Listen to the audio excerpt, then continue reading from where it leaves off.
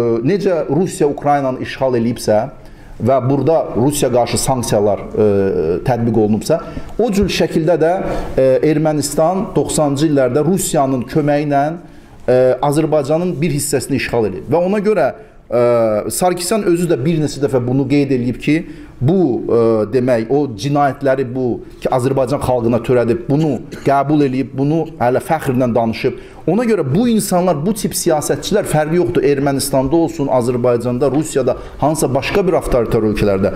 Bunlara imkan vermək olmaz ki, bunlar bugünkü kimi desinlər ki, mən parlamentə gəlmirəm, Avropa parlamentinin rəhbəri ilə görüşmürəm. Sən kimsən axı sən Avropa parlamentinə gəlməyəsən? E, necə e, Rusiya qarşı sanksiya tətbiq olunubsa, elə də Ermənistana qarşı sanksiya tətbiq olunmalıdır.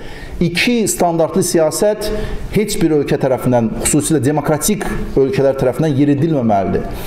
And second is the issue of the uh, conflict, Nagorno-Karabakh conflict.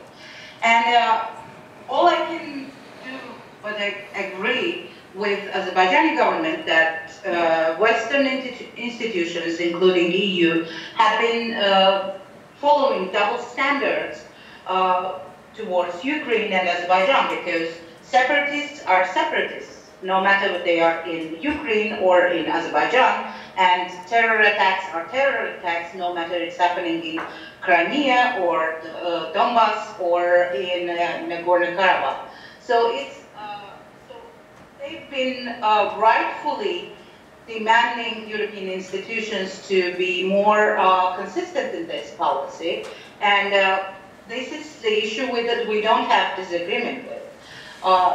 however, However, uh, we've seen that Azerbaijani government as well as Armenian government have been using the conflict uh, for suppressing internal voices in their uh, respective countries.